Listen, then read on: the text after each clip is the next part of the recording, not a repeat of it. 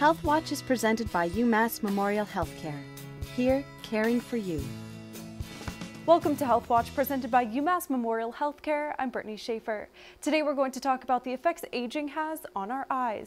Typically, when we get older, our vision, our vision gets a little worse. Um, sometimes you find you need to wear glasses, and especially for up close. Um, sometimes even with the best glasses, the vision is still not as sharp as when we're younger. What are some of the most common eye conditions that affect the aging population? Presbyopia is a problem of the, uh, the eye to be less able to focus to look at things up close. And the treatment is to wear reading glasses or progressive lenses. The dry eye uh, is a very common condition that makes the surface of the eye dry, irritated. You can get redness and burning sensation and tear up. And next one is the cataract, and that's uh, natural clouding of our human lens in the eye. Are any of these conditions treatable? Yes, most of these conditions are treatable. Uh, with presbyopia, we mentioned that you just need to wear reading glasses.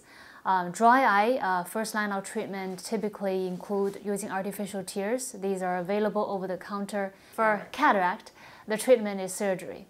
Uh, so your cloudy human lens is going to be removed and replaced by a clear artificial lens.